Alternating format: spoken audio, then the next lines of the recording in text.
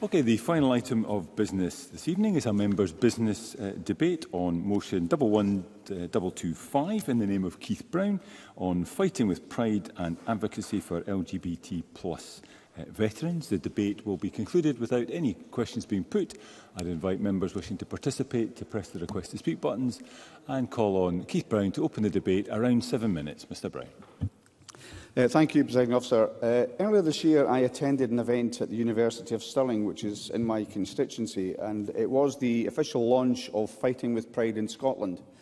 Fighting with Pride is a veterans charity which works closely with veterans organisations across Scotland and the rest of the UK to improve the support available to LGBT plus armed forces veterans. And I'm very grateful to all those members that signed the motion to enable this to be debated today and also would like to welcome those in the gallery from Fighting with Pride.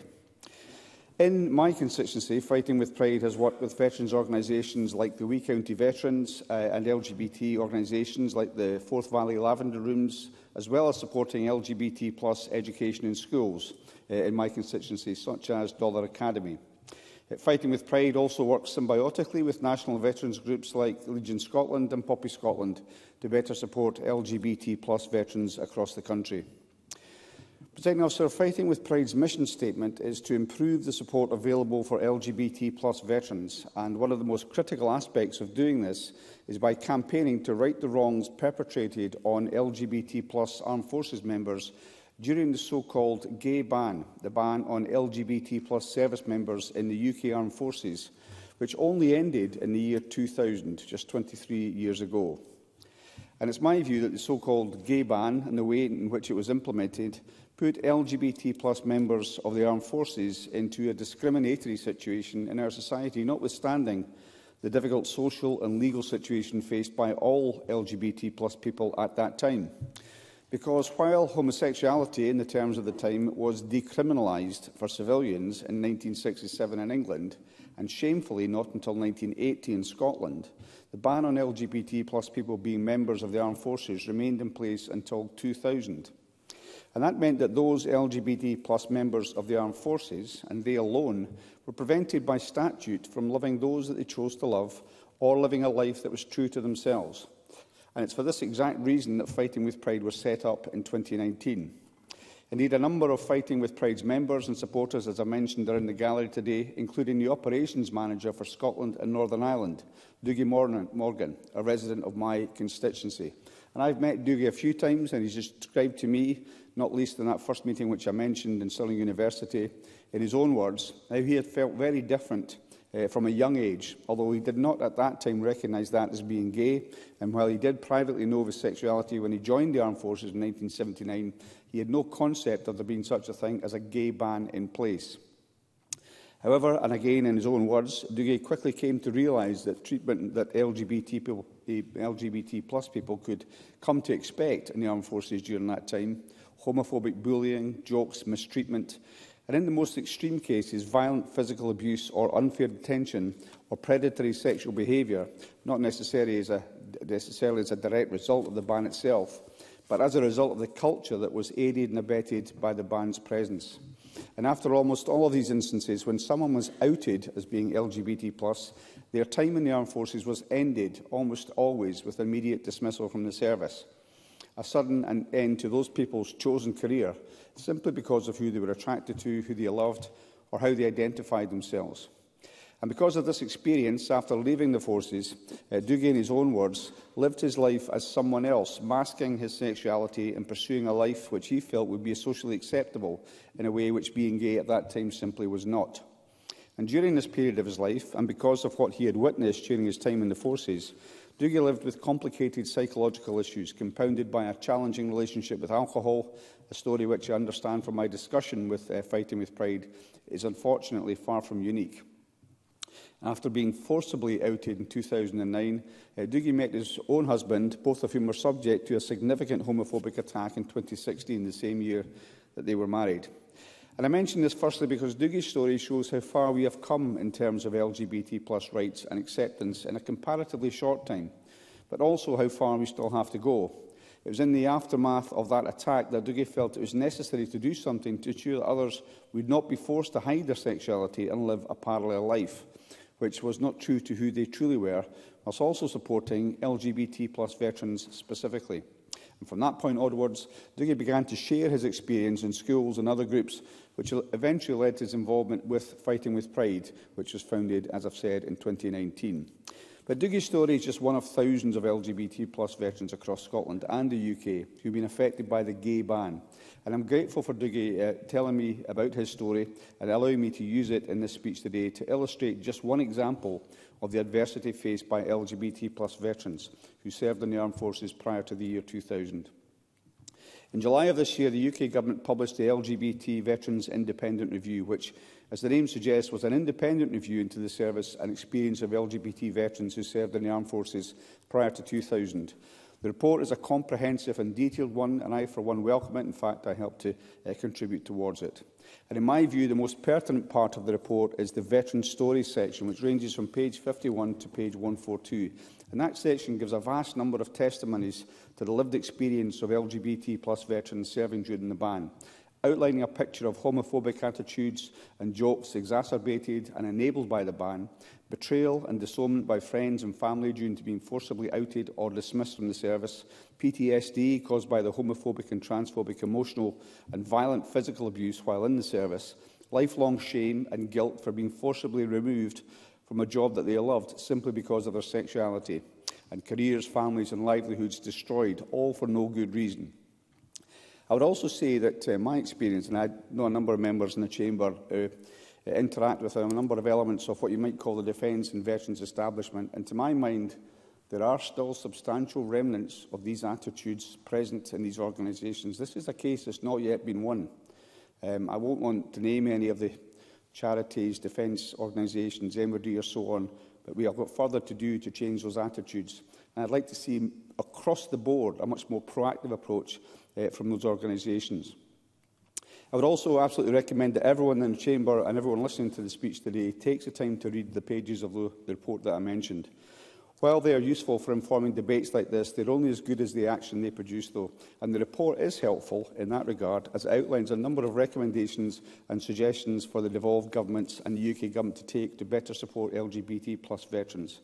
For my part, I have sought to bring awareness and action to the support we give uh, to such veterans, and by bringing this members' debate to the Scottish Parliament, I note, um, I, I note also the suggestions and the recommendations made in the report for the Scottish Government. I will work as an MSP in pursuit of those suggestions and would encourage others to do the same. And as for the UK Government's response to this, warm words have been forthcoming and an official apology issued, which is absolutely right and long overdue. However, one of the most significant long-term impacts of the so-called gay ban for those veterans, uh, both in, uh, and other individuals and their friends and family, but also in institutions of government um, uh, who are ultimately responsible for this ban, is the harm that is caused. And it's for that reason the UK government has a particular obligation uh, towards the LGBT plus veterans. And I was dismayed to read on Monday a BBC report was showed that the UK government dropped a debate on the LGBT Veterans Independent Review in the UK Parliament, which had previously been promised by the UK Defence Secretary not long after the publication of the report. Now, I understand that that in itself has now been overturned and there will be a report, a, a debate in the House of Commons uh, in the new year, which I think is uh, very much welcome. Uh, given the special obligation of the UK Government on this issue, I'd echo the words of Fighting with Pride's open letter to the UK Prime Minister also published on Monday, which urges the UK Government to allow this debate to be held, and perhaps most importantly in the debate, calls, as the motion that's up for debate also does, for the UK Government to scrap the proposed £50 million cap on the fund for distribution for LGBT veterans affected by the gay ban. The obvious issue with a cap on that amount of compensation will be the amount of compensation available within that cap to individual veterans affected by the gay ban. Uh, that will inevitably, inevitably decrease the amount to individual veterans the more veterans apply uh, to the fund. It just stands uh, to, uh, to reason in terms of the, the, the maths. And it's fairly clear that that will not be sufficient to properly compensate individual veterans. So, President Officer, to sum up, it's my view that the so-called gay ban is a shameful part of both Scotland and the UK's military history and the way that those who were prepared to serve the country with loyalty and distinction were not met with that same loyalty in return. And that's something which cannot be justified and which both Scotland and the UK must atone for, and I'd urge the UK government to do so. And as a parliament, we must stand united behind our LGBT plus veterans and call on the UK government to do the same, support Fighting With Pride and the immense work that they do to support LGBT plus veterans. And crucially, implement the recommendations of the report. And lastly, and most importantly, scrap the cap. Thank you, President Officer. Thank you, Mr Brown. We now move to the open debate. I call first uh, Jamie Green to be followed by Emma Harper uh, around four minutes. Mr Green. Thank you, and can I thank the member for that excellent speech and bringing this debate forward to the Scottish Parliament. I think I have a very unique and privileged position in a debate like this because so many of the key protagonists in this sorry saga are very good friends of mine. Uh, armed forces veterans who were denied so much by the cruel, homophobic, transphobic and unfair policies and attitudes of yesteryear – And so I want to use my time today to tell their stories because they deserve to live in our official report for prosperity. Simon Ingram joined the RAF in 1987. He was talented and he was posted to RAF Kinloss with 201 Squadron. He knew himself to be gay, and like any lad in the forces in the 1980s, he threw himself into squadron life. He kept his secret close. But Simon was also simultaneously being covertly investigated by military police. He was treated like a dissident, not a soldier. He was hauled out by military police in front of his squad. He was asked obtuse and obscene questions over several days. He was discharged in August 1993. He went to the job centre and they said to him, Sorry, Mr. Ingram, We don't have much work going for international submarine hunters these days. Aged just 26, he found himself with no career, his house repossessed by the bank in negative equity, his pension removed, his medals gone. It took 15 years before he recovered from this discharge financially. And he still doesn't have a decent pension pot, but he tells me he's working on it. Simon is my friend. Patrick Lister Todd served at the Clyde submarine base in my West of Scotland region. He described his life in the army in the way that many gay men of that era will recognise. It was a Jekyll and Hyde existence. In 1988, he met his first ever partner, Dennis. Dennis was HIV positive, and they both knew deep down that they had very precious little time together. Such was the death sentence of the virus. Patrick faced the abominable an inhumane choice of his career or his partner. Staying in the forces simply wasn't an option. He applied to leave the Navy. He cited a spurious reason. Why? Because it would have been a criminal offence to tell the truth. He gave his one year notice. And two days before his last day in the Navy, Dennis passed away. No one even knew what Patrick was going through, never mind be there to support him. Patrick is my friend too. Ed Hall was another former sub lieutenant who was discharged from the Navy for being gay. He founded the Armed Forces Legal Action Group in 1993 and working with Rank Outsiders and so many others, they aimed to end the ban on gays and lesbians serving in the military. By 1994, he'd finished writing a book the aptly, imaginatively and quite tongue-in-cheekly named We Can't Even March Straight, which catapulted the treatment of LGBT soldiers right into the mainstream media. By 1999, he himself had helped over 100 veterans lodge complaints with employment tribunals. And because of the work of he and so many other brave activists, so many I simply don't have time to mention, the ban was finally repealed in 2000. He is my friend too. And that's what brings me to today's debate. Of course, it's off the back of the monumentally important Etherton report. And credit due where it's given to the UK government who ensured its passage and who offered very frank apologies to those who suffered at the hand of state-sanctioned discrimination. But far too many today, and for too many, an apology simply isn't enough. There is still no justice. There is still no compensation for the lost careers, the lost livelihoods, the broken relationships, the lost income, the cancelled pensions, and more importantly, the lost dignity and respect. Because, presiding officer, these are the people that we expected to man our nuclear submarines and warships. These are the people who flew warplanes over our heads, who cared for injured soldiers, who marched over the hills of the Falklands, and they were all lauded as heroes upon their return.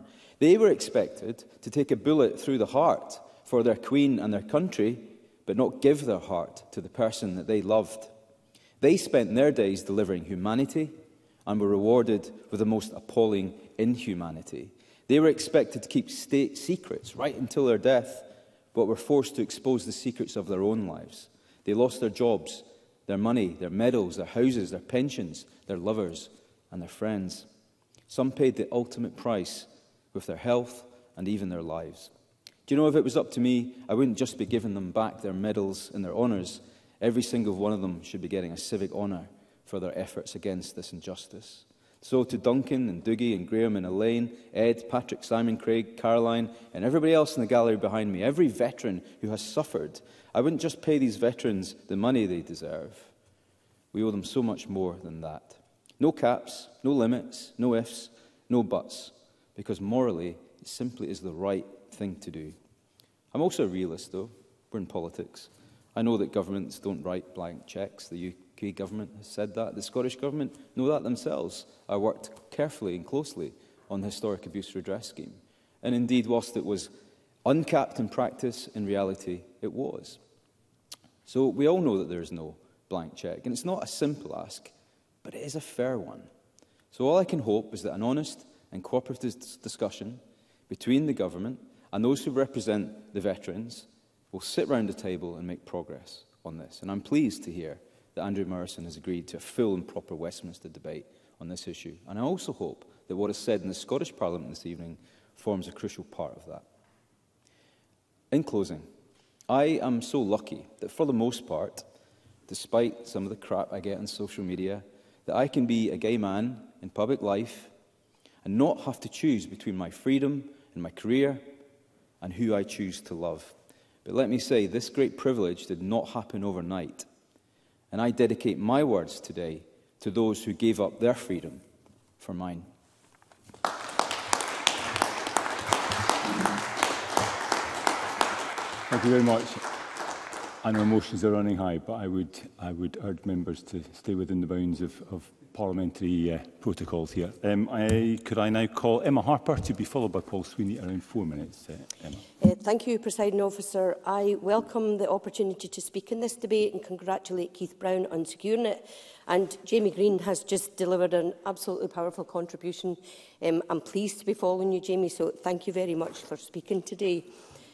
Keith Brown has well rehearsed the fantastic work of Fighting with Pride, and I too join him in welcoming this work in connecting LGBT plus veterans to organisations which can help veterans with whatever their needs are.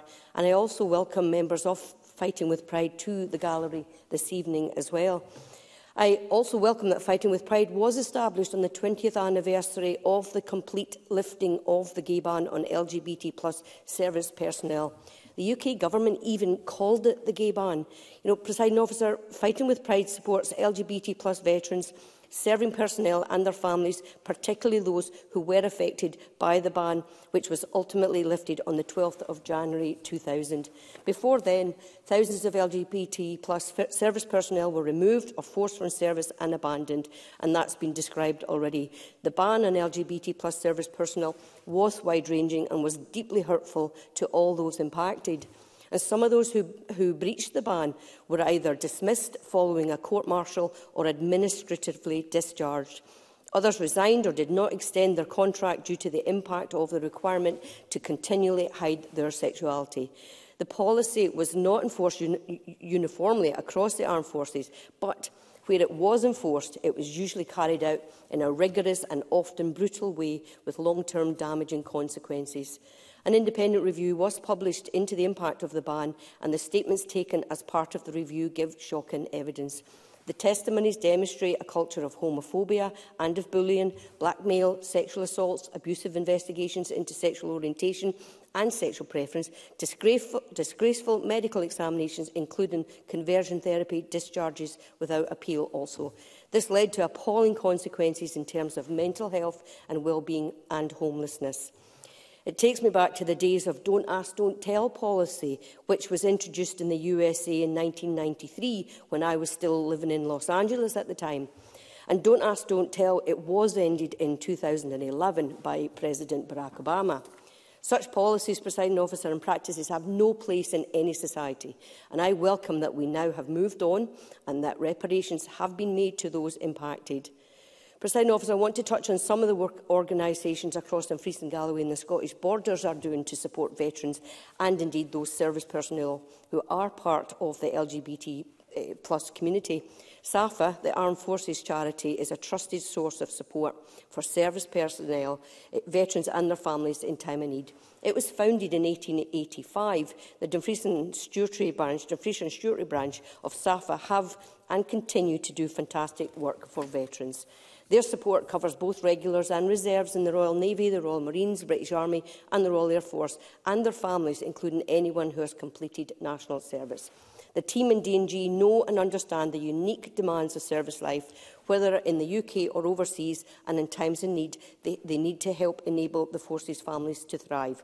I was interested in the work of SAFA that they've been doing with the Armed Forces Covenant Fund Trust, which has awarded a grant on behalf of the Office for Veterans Affairs to assist with the delivery of specialist support on the Forces Helpline. And the funding of £25,000 is being allocated to Force Line, Forces Line Uplift and fully support any additional specific needs from the veterans LGBT plus community, which may result from the pre-2000 homosexuality ban. A reminder for folk that the Forces Line number is 0800 260 6767. This work has also been publicised by the Veterans Garden in Dumfries, run by Army veteran Mark Harper. No relation, eh, but Mark is doing an amazing job at the Veterans Garden up at the Crichton. They provide a safe space for veterans regardless of orient sexual orientation and I would welcome the Minister visiting the Veterans Garden to see their, update premises, their updated premises. Presiding officer, in closing, I again welcome this debate. Thank Keith Brown for all he does to champion veterans affairs. Thank you. Thank you, Ms Harper. And I now call Paul Sweeney for around four minutes. Mr Sweeney.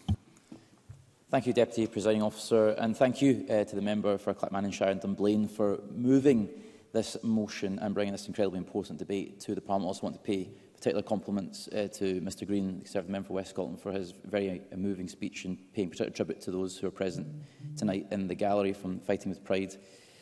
While the decriminalisation of homosexuality in the UK started in 1967, extending to Scotland in 1980, those in the armed forces had to wait a lot longer to be treated as equals. The so-called gay ban was lifted many years later in January 2000. And in the years between decriminalisation and the ban on LGBT plus armed forces personnel being lifted, thousands of servicemen and women were dishonourably discharged from service, destroying their lives in many cases, and uh, gave rise to a culture that enabled bullying, homophobic abuse, sexual assaults and conversion therapy running rampant across the armed forces. LGBT plus servicemen and women had their medals and honours stripped from them when they were wrongfully dismissed from service. It was right that, therefore, in 2021, it was announced that LGBT plus veterans were able to claim their medals back. But again, the onus is on the individual having to make that administrative process happen. Restoring the honours and medals on those who served this country, however, with distinction, is a move certainly in the right direction. And indeed, I think we can take some degree of solace in the progress that has been made, and most symbolically perhaps by the current Governor of Edinburgh Castle, Major General Alistair Bruce, um, a Falklands War veteran like member, um, in his case serving in the Scots Guards, um, who became the highest ranking officer in the British Army to have a same-sex wedding in July 2021, uh, marrying his partner of 20 years. But it was also quite sad to listen to his testimony of how he had to conceal who he was for so many years and change his lifestyle um, in that process um, and how insidious it became as part of the culture of the armed forces. But nonetheless, congratulate him being able to live uh, his true self uh, and get married in full dress uniform as he did, and indeed congratulate him on his recent appointment as the Honorary Colonel of 52nd Lone, the 6th Battalion of the Royal Regiment of Scotland, my former unit, um, and he will be a fantastic Honorary Colonel, I am sure. Um, the Lord Etherton Review, uh, published in July this year, was also a welcome step forward in realising the experiences of many LGBT plus veterans and the subsequent apology from the Prime Minister for what he described as the appalling failure of the British state was also a welcome intervention, but much more has to be done to right the wrongs of the past.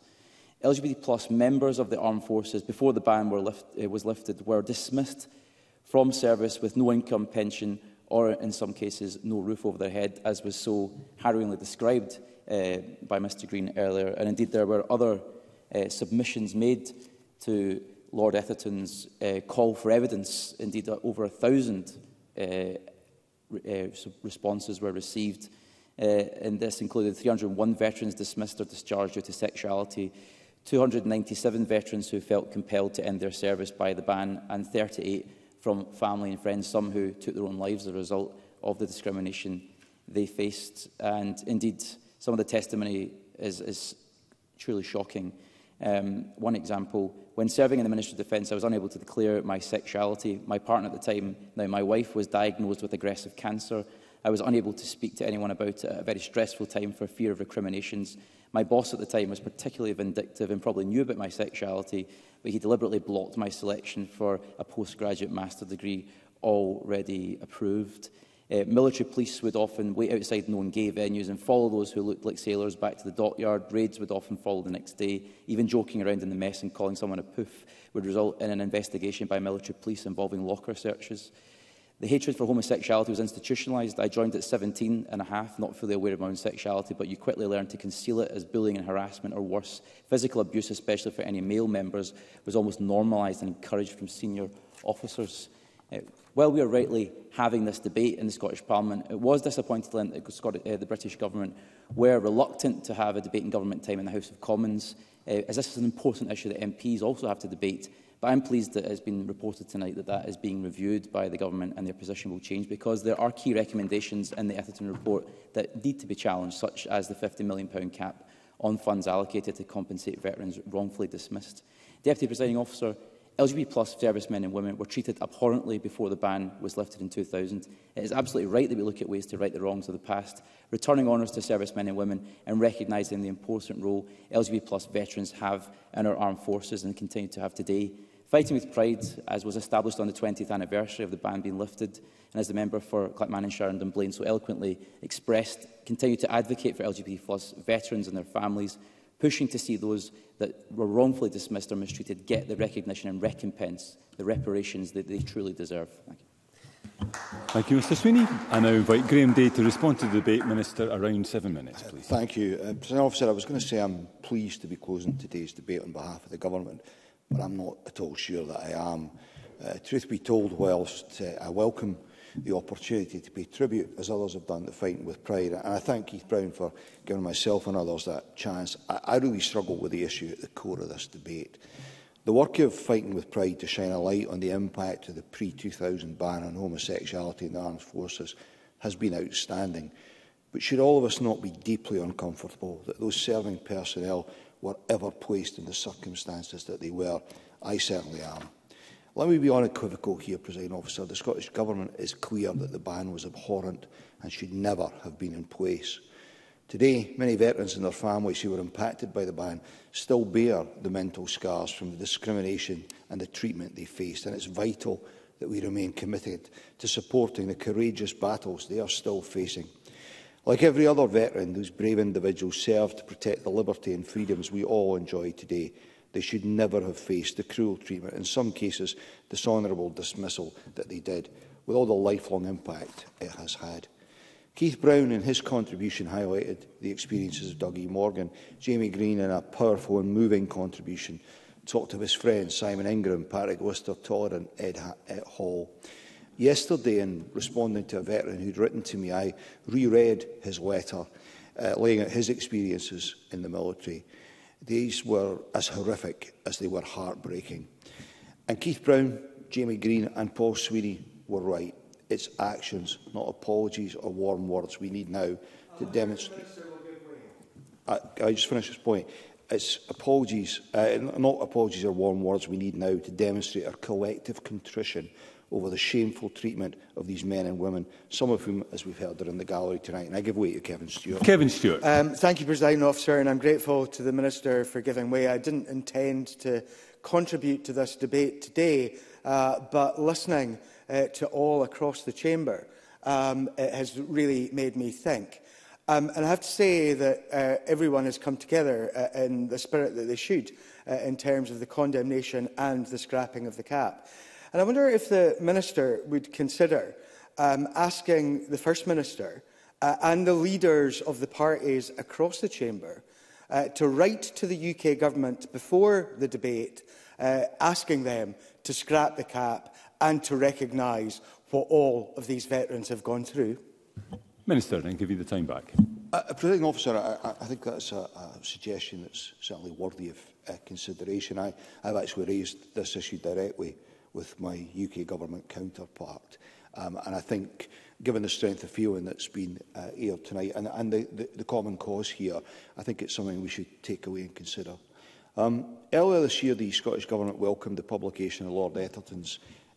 uh, independent review. And as we've already heard this evening, the report was an emotive and at times extremely difficult read, but it's hugely important that people have had the opportunity to share their experiences. And I, I'd like to acknowledge the bravery of all of those who did.